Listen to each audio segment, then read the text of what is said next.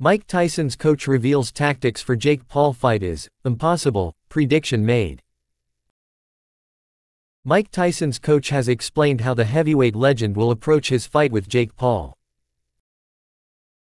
Mike Tyson's coach has laid out the 57-year-old's tactics for his fight with Jake Paul in the summer.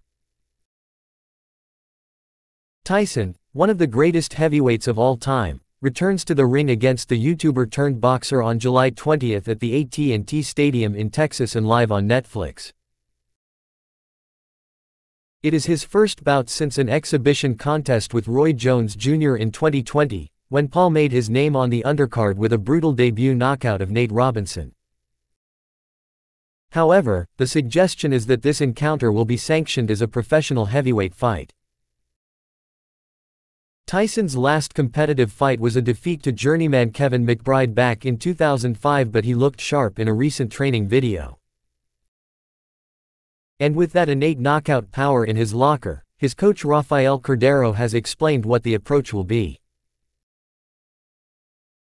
This fight won't be a massacre, it's going to be a very technical match, because we have a kid on the other side that can box and isn't afraid, Cordero said in an interview with MMA Fighting. Mike has such heavy hands, and it will be impossible not to touch Jake. Jake will feel Mike's hands, there's no other way, and that's when we'll have an idea on how the fight will go.